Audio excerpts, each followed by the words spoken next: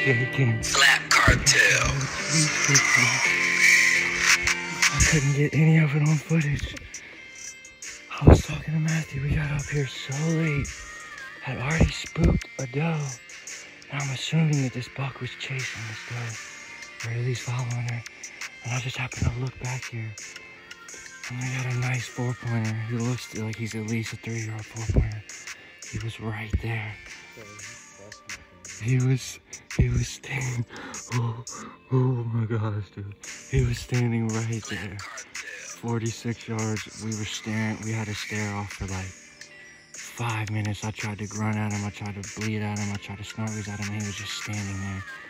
So I eventually told Matthew, you need to just slowly raise your gun. He's at 46 and to see if you can shoot him. And I'm pretty sure he hammered him. I swear I think he hammered him.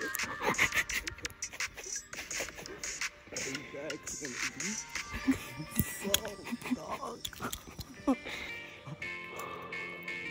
was shaking so bad. Slap cartel. He came right in on our trail that we walked on. He had to be on that doe. Hmm. we haven't even called anybody. Just sitting here honestly taking it in. And hoping another deer will come back through because I'm assuming that doe is hot, but I know if I call somebody I'm gonna be super loud and we were already loud enough after the shot, but insane. We're gonna hurry up and get down though before it gets dark so we can just at least see the blood at the impact. He could be laying 20, 30 yards up in that thicket, so you never know. He couldn't even have went too far either because the road is right there. So we'll see. He ran right back towards the Jeep.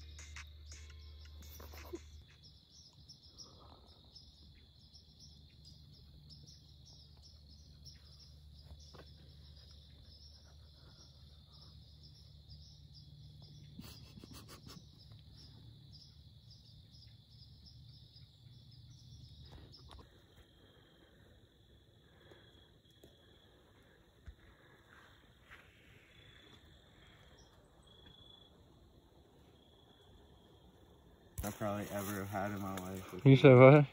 That's the most greatest experience I probably have ever had in my life, nigga. Damn, dude, that shit was crazy. About an hour and 15 minutes after the shot, straight moonlight, climbing down, gonna go look at first blood, and then go back and get a better light and put these stands back in the truck, in the Jeep, because we're only like 80 yards from the Jeep, so hopefully we find him within 100 yards. No, we're gonna go grab another light, but I got first blood.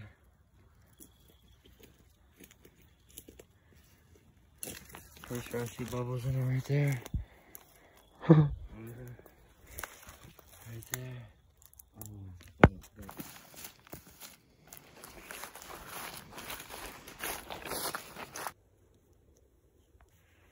Sean, that way, where's that fucking blood at right here?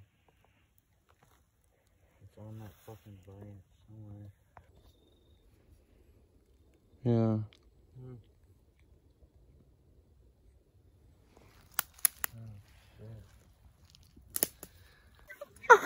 Dude, Oh my god! we were on the phone, bro, and he is right there.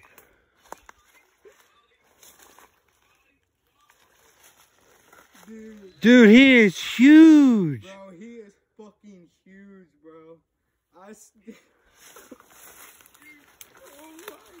Not the the antlers aren't huge, but The just antlers aren't huge, but he is a fucking fatty, dog. Dude. Let me see, Brandon. See where I hit him at, bro. Dude. oh god, dog. dude, he's so big. His body. Bro, his body is huge, man. Where did I hit him, bro? bro. Set. Dude, let me call you back in a minute. I'll send you a picture, bro. I love you. Later. oh my. Hold up, bro. Pick his head up.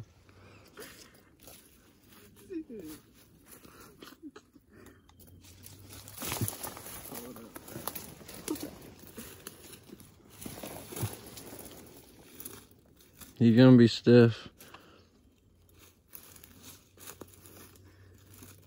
Oh, dude, fuck. I gotta move some of this shit, bro. Pick him up, son.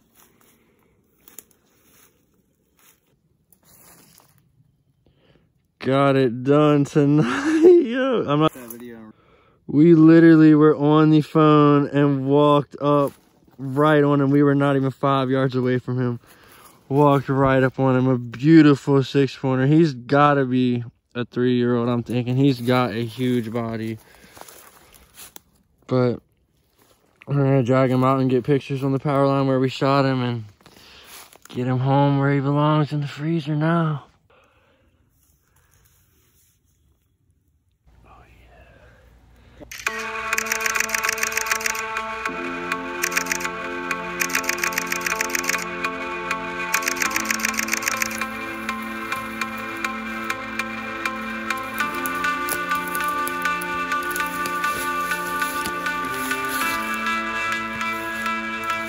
Wait, stop, stop, stop. Somebody just went down the road, man. We just had him at the edge, too. He died within 100 yards of the Cherokee.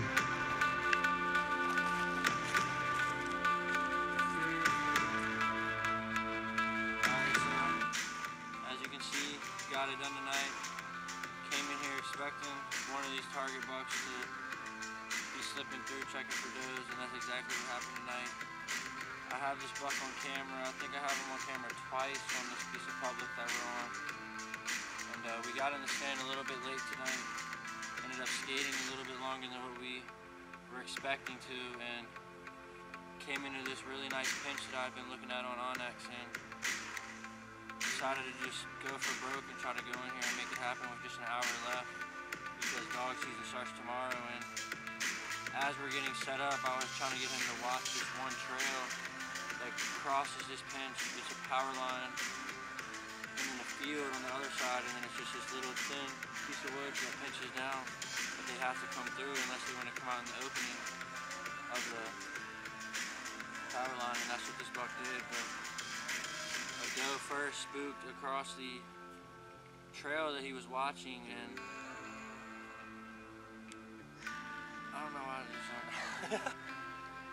he ended up coming out right here on this power line and a doe spooked out on the trail that he was watching. And he says she just ran right across which I thought was weird at first because we weren't making much noise at all. And then she ended up trying to circle downwind but couldn't get fully downwind without getting into this power line right here. So she just ended up trotting off and blowing once or twice. And once we fully got set up after I tried to pull his crossbow up and somehow my bow rope ended up coming untied so he had to climb back down and retie it, climb back up there. I just threw out two soft grunts and then not five minutes later I look back to say something to him and this this buck is standing right in the power line. We had about a 10 minute face off. Tried to throw a grunt, a snort wheeze, and a bleat back towards where that doe came from during that whole 10 minutes and just he wasn't having it. He was just locked onto us, and he wasn't in my shooting lane. He was perfectly in Matthew's shooting lane. Ranged him at 45 yards. I told him how far he was. He felt confident, so he made the shot, and the rest is history. He's sitting behind his first deer ever right here on public land in Virginia. So we're gonna get him. we're gonna get him gutted up and get him back, get him back home, and continue the season. I'm sure there's a lot more to come this year, so.